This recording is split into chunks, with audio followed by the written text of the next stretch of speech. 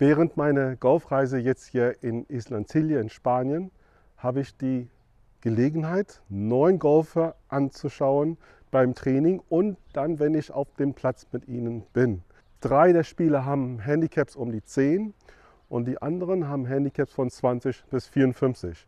Sodass ist ein schönes Spektrum von Golfern, die sehr typische Fehler machen. Ich glaube, dieses Video kann dir auch sehr helfen, weil mindestens eine der Punkte in diesem Video werden dich treffen. So, ich möchte anfangen mit einer der typischsten Schwünge oder Schwungtechniken, die es gibt. Und was ich da meine ist, ist, dass der Golfer sehr flach ausholt. Die Arme sind jetzt ganz dicht äh, am Körper, an der Brust. Und dieser Golfer ist gezwungen, nach vorne die Arme zu, zu bewegen. Die guten Golfer kriegen es hin, im richtigen Moment dann den Schläger auf die Ebene zu, zu bekommen. Aber das braucht sehr viele Jahre Golftraining und Bälle schlagen. Aber natürlich gibt es auch Golfer, die dann weiter nach vorne kommen.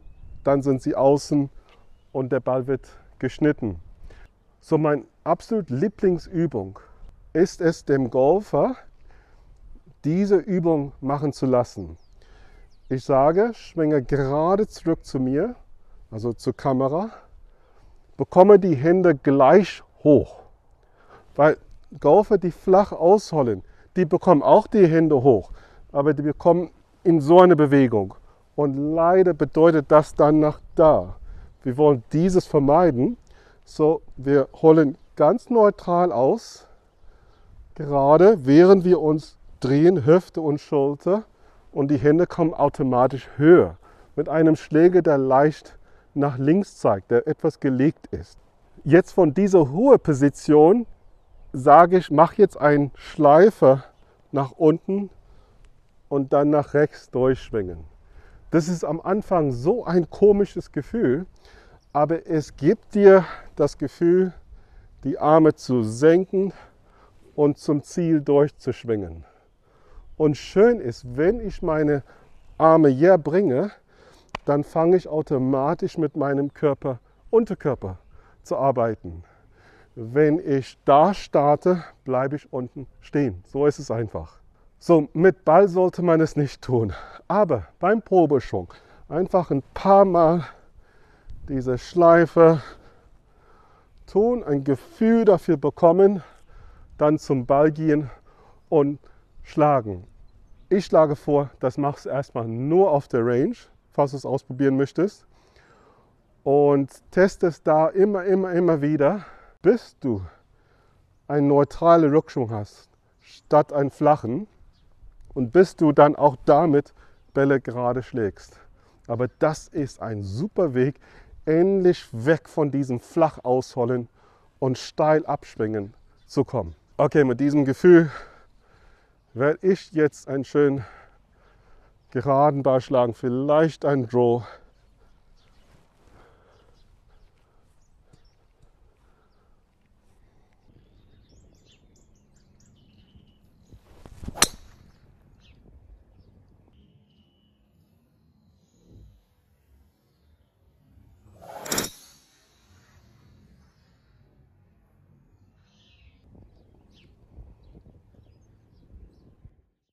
Vor circa 15 Jahren war das Paar 4 hier in Islantilia auf dem Blauen Platz wahrscheinlich einer der schwersten Löcher in Europa. Das ist jetzt ein Paar 5. Ich habe jetzt meinen dritten Schlag und ich möchte ein Chip and Run spielen mit meinem Eisen 9. Die Fahne ist kurz gesteckt, das Grün ist relativ fest, so ich entschiede, entscheide mich für diesen Schlag. Nur hier möchte ich dir was Wichtiges erzählen. Wenn du die Schläge ums Grün herum machst. Versuche ähm, das zu vermeiden, zu drücken und den Ball zu schlagen.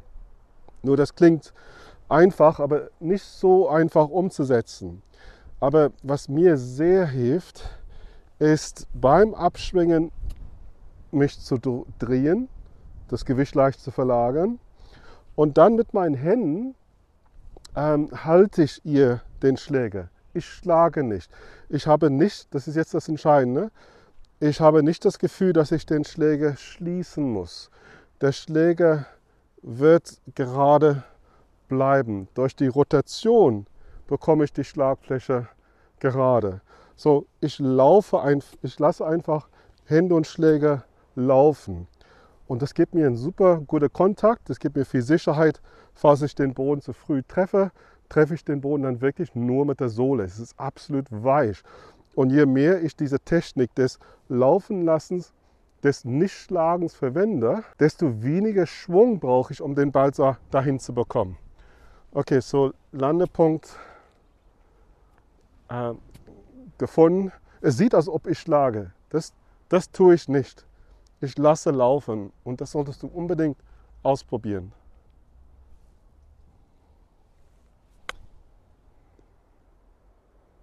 Jetzt sitz oder geh rein. Uh. Okay, so vor allem wenn du ein bisschen zückst oder fette Schläge hast beim kurzen Spiel, das geht für alles ums Grün herum. Drehen und das Gefühl haben. Und da ist überhaupt keine Spannung in meinen Händen, Armen und Schultern. Und wichtig ist, das Blatt, nicht versuchen, das Blatt zu drehen. Das passiert von alleine durch die Drehung und macht die Dinge ohne Divid. An den Golftagen dieser Reise gehe ich dann während der Golfrunde von Flight zu Flight. Und was mir immer auffällt oder sehr oft auffällt, ist, dass es ausschließlich geradeaus gezielt wird. Der Golfer sieht, wo die Gefahren sind, aber trotzdem ist Mitte Fairway, sieht immer so gut aus. Oder die Fahne, direkt auf die Fahne, scheint eine gute Idee zu sein. Und es ist nicht nur die Teilnehmer dieser Golfreise, die sowas tun, sondern alle Golfer auf der ganzen Welt. Wir zielen zu gerade. Nur ist es natürlich sehr wichtig, dass man guckt, wo die Gefahrseite ist. Ja, auf diese Paar 4 auf der rechten Seite ist ganz sicher Gefahr. Da unten möchte ich nicht liegen.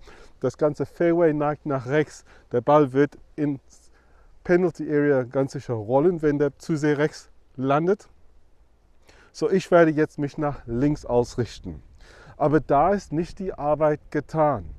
Weil vielleicht kennst du es selber, wenn man sich nach links ausrichtet aus Rechtshänder, ist die Gefahr da, dass man den Ball noch mehr anschneidet und dann geht er trotzdem nach rechts, da wo man nicht möchte.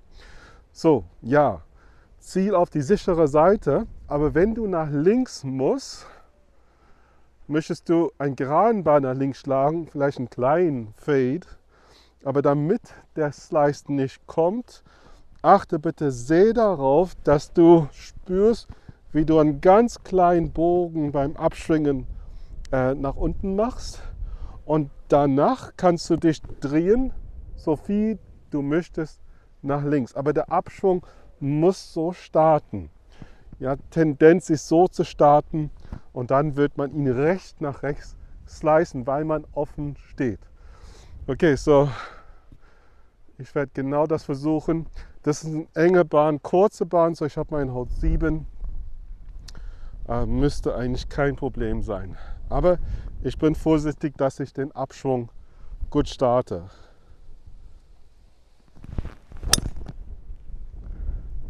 Und da kommt nur ein leichter, leichter Fade.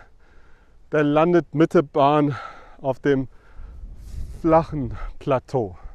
Okay, ganz wichtig, richte links aus, aber starte auf der Ebene. Und natürlich das gleiche gilt, wenn du nicht nach links möchtest. Richte dich nach rechts aus, aber pass auf, dass du nicht zu sehr von innen nach außen schwingst, weil sonst wirst du den Ball hucken. So, da musst du auch schauen, dass du dich drehst durch den Ball gleich, damit der Ball nicht zu sehr huckt. Aber ich denke, die erste Variante, links stehen, nicht nach rechts leisten, ist für die meisten Golfer wichtiger. Was man meistens im Bunker sieht, sind Schwünge, die nicht sehr ähnlich sind zu dem Standard-Golfschwung. So, da sieht man, dass Golfer manchmal sehr weit links stehen und den Ball ähm, anschneiden oder es wird versucht, den Ball hoch zu heben, ähm, ja, durch Schaufeln, durch Löffeln, alles Mögliche. Aber es ist so wichtig, dass du im Bunker einen guten Schwung machst. Und der Bunker ist ein idealer Ort, Schwung zu trainieren. So was du tun solltest, ist folgendes. Geh in deinen Bunker und mal mal ein paar Linien. Ich male eine Linie gerade zurück zu dir, zur Kamera. Und von da mache ich einen kleinen Bogen und male die Linie dann wieder zurück. So, das ist für mich ein Anhaltspunkt. Ich möchte gerade zurück den Schläger führen, statt nach hinten. Und dann von da möchte ich einen ganz kleinen Bogen spüren und den Ball leicht von innen treffen. Das ist die Technik eines guten Golfschwunges. Ich stehe klar, ich stehe anders zum normalen äh, Bunkerschlag, äh, zum, zum normalen Schwung. Meine Füße sind breiter, Ball ist leicht, leicht, leicht vorne.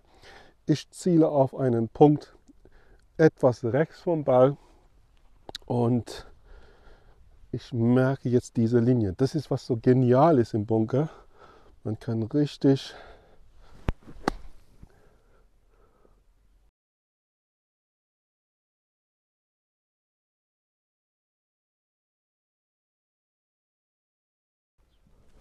Und es ist recht genial. So zwei Punkte. Wenn du im Bunker bist, mach normale Schwünge. Steh nur etwas anders.